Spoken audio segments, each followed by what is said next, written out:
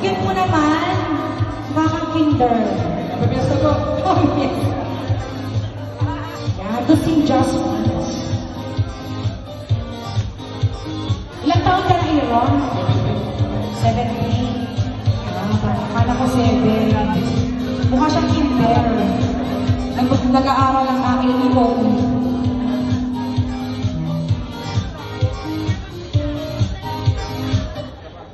Yeah, parang Second John Murray.